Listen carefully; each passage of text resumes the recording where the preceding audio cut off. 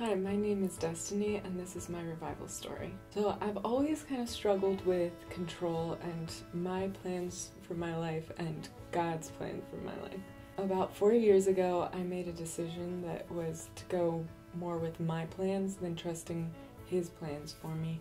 And through that, I ended up being rejected by some of my closest friends and going through a season of depression and just struggling with who I am and really losing my identity. With the events that even happened there, I ended up really getting stuck in depression and really giving up and throwing myself into work and school as much as I could to the point where I burnt out completely. I just kind of felt alone and abandoned and lost and just thoroughly exhausted. But even after I graduated and I moved back to Virginia, I was still exhausted physically, emotionally, spiritually, just mentally just exhausted. I but I, I realized that I really needed to press into God and coming here to Doc really helped um, me see that. When I first started coming after um, I moved back,